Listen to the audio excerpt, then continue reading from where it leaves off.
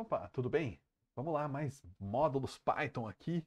E hoje a gente vai falar de ferramentas de linha de comando para você que trabalha com Git. Tá? Tem duas aqui que eu acho que são bem úteis. Deixa eu dividir a tela aqui e te mostrar. Deixa eu ir para o outro lado, vai ser mais fácil. A primeira delas é o docignore. Tá? Então vou mandar aqui um pip install docignore. E vai baixar, né? vai instalar aí o docignore. E aí se eu chamar docignore aqui, só assim, okay? Ele vai me dar ali, olha, tem um menos H que vai mostrar o help. Okay? Tá aí. Tá? E aí, doc ignore geek. Okay? Não fez nada? Menos H geek. Puxa. Eu preciso dizer o nome da linguagem. É, digamos que eu vá trabalhar com Node.js. Acho que é assim, Node. Template Node has been used Ele gerou um geek ignore para mim, olha ali, tá para Node.js. Tá? Então, é um jeitinho fácil e rápido de você gerar geek ignore. Então, ah, não vou trabalhar com Node, vou trabalhar com Python. Tem um template Python? Ah, o arquivo já existe. Doc ignore git Python, pronto. Temos aí um git ignore para Python. Legal. Jeito de você começar aí com os templates já úteis, tá? Mas o outro que eu queria mostrar é mais, le mais legal, eu acho mais legal, que é o Gitbars.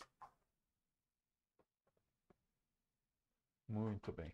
Deixa eu entrar num projeto ativo aqui da Vise. Esse aqui, por exemplo, deixa eu dar um git pull aqui, inclusive, para ver. Pegar o que está mais novo aí. E aqui dentro eu vou rodar Gitbars. E olha o que isso me dá, tá vendo aqui?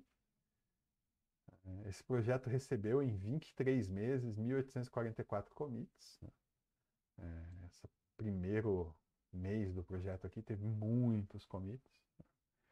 Depois a gente fez só manutenção, depois o projeto entrou numa nova fase aqui, com outra equipe, commits acontecendo. Tá? Dá para mandar um menos H aqui, olha só, e ele mostra, ah, eu quero ver só os commits antes ou depois de tal commit em ordem reversa, ou a periodicidade. Tá? Então quero saber por semana como foi. E aí ele me mostra por semana, olha aí que interessante. Né?